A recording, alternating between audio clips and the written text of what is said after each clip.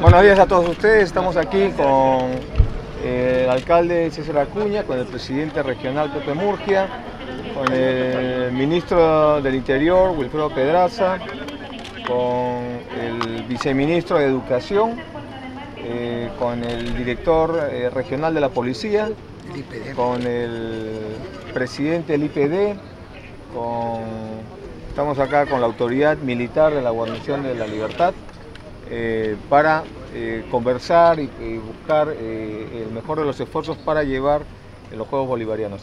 He rápidamente inspeccionado las obras, las obras eh, César, su alcalde, nos se ha comprometido en que están listas para el, inicio de los bolivarianos.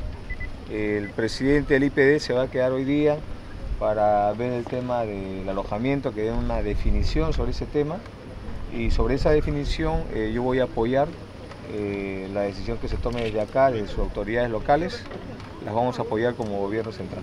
Además de esto, hemos estado en la comandancia policial, para rápidamente que nos hagan una exposición de los planes de seguridad, particularmente para las fechas eh, de los bolivarianos.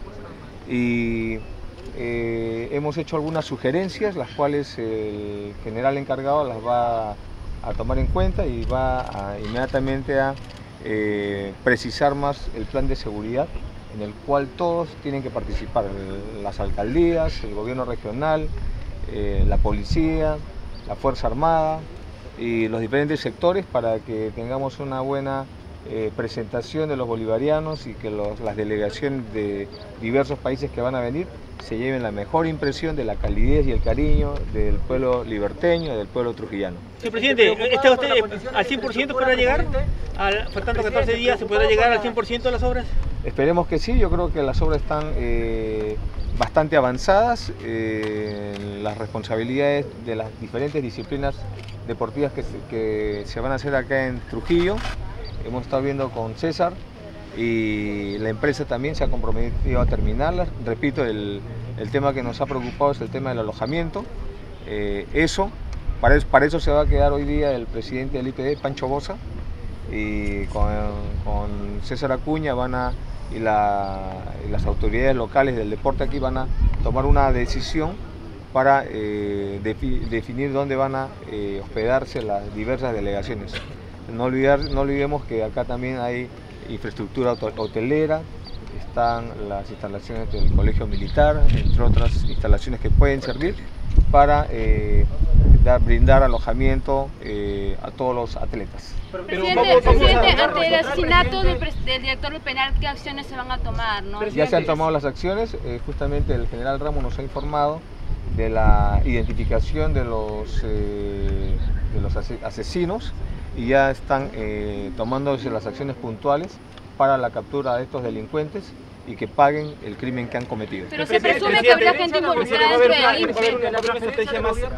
haber una estrategia más intensa del gobierno para frenar esta ola de, crímenes? Sí, vamos justamente con, a raíz de la, de la proximidad de los bolivarianos, eh, vamos a reforzar eh, a la fuerza policial y ese reforzamiento involucra no solamente a los bolivarianos, sino también eh, la etapa que se viene, la campaña de Navidad y Año Nuevo que ya se viene.